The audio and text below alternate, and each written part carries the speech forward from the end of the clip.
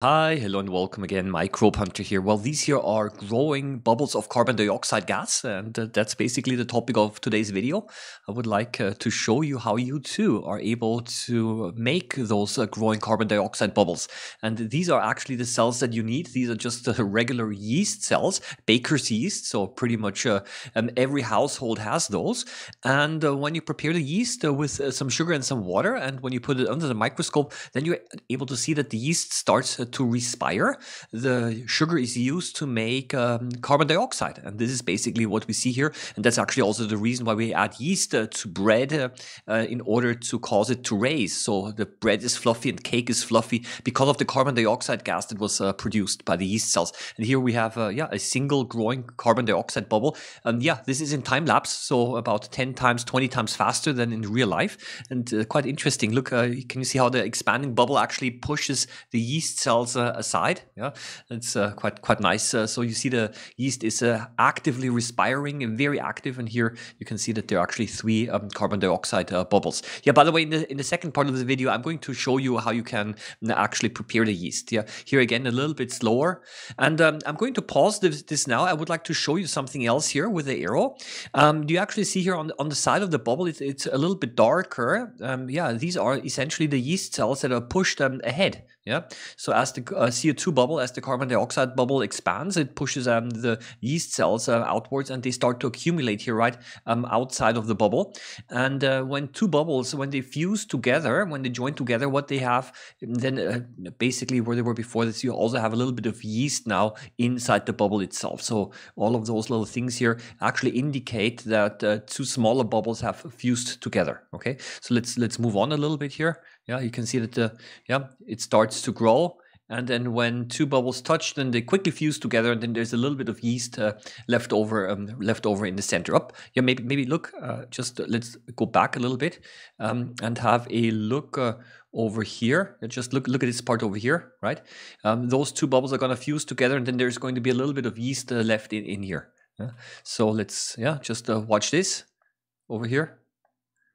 Yeah, and in one tick, and and here we go. Okay, I hope you got the idea. Yeah. So what I'm gonna do now is, is I'm going to uh, zoom in quite a bit, um, and here too I'm going to uh, pause the video do you actually notice that the yeast cells are shaking a little bit? Well, that is because of so-called Brownian motion.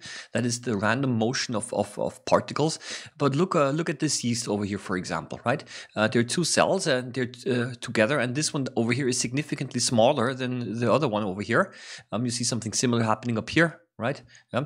And this is uh, because when yeast cells, when they divide, uh, so you add a little bit of sugar to some yeast and some water, and then you wait for a few hours, then they will start to divide. And this uh, cell division of yeast is asymmetrical. So um, yeah, there will be one large cell and uh, one smaller cell. They have the same DNA, but uh, um, ultimately uh, it appears like a smaller cell grows out of a larger one. And this is this type of cell division is referred to as budding.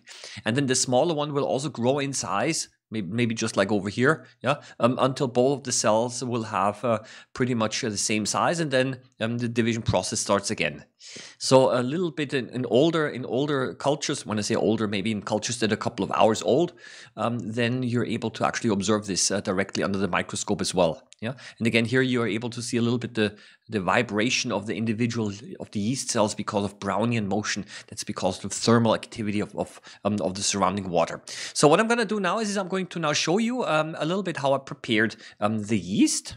So what I used is uh, dry yeast. Uh, of course, you can also use fresh yeast. It actually might uh, work faster, but dry yeast is fine as well. I added a little bit of sugar, approximately the same amount. Don't add too much uh, because otherwise uh, the yeast is not going to respire either. So too high of a concentration is not good. Add a little bit of water and then uh, give it a couple of minutes time for both sugar and the yeast to dissolve. What I did is I placed it uh, on a uh, coffee heater um, and it's around 40 degrees centigrade.